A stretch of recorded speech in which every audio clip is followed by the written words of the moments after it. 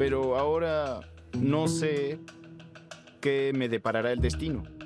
Pero sé que estoy preparado. Estoy listo para conocer a mis hermanos.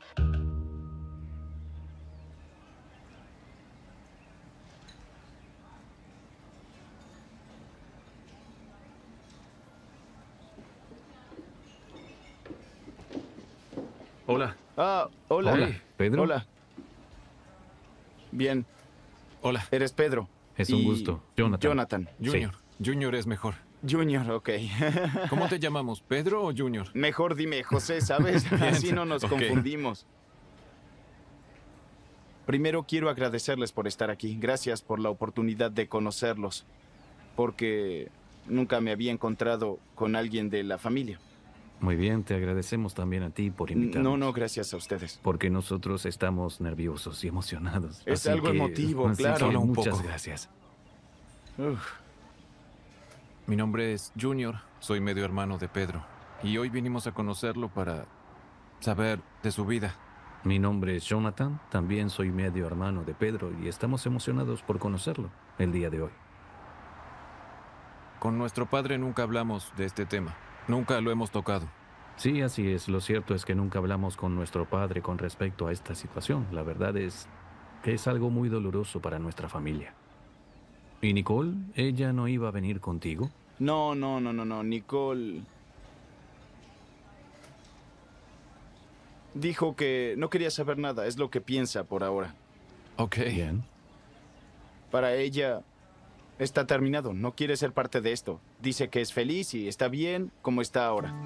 Bueno, es una pena, en serio. Estábamos muy emocionados por conocerlos a los dos, pero igual... eh, Queríamos son- conocerla porque no tenemos hermanas.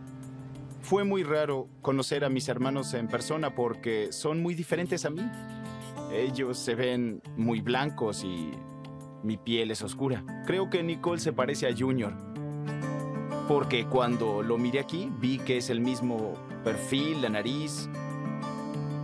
Si le pusieran una peluca a Junior, luciría igual a Nicole. Si me dejan, comenzaré con mi parte de la historia o lo que mi familia me dijo, porque tanto en mi familia como según me han Sí, dicho en la suya, ese tema nunca se habla.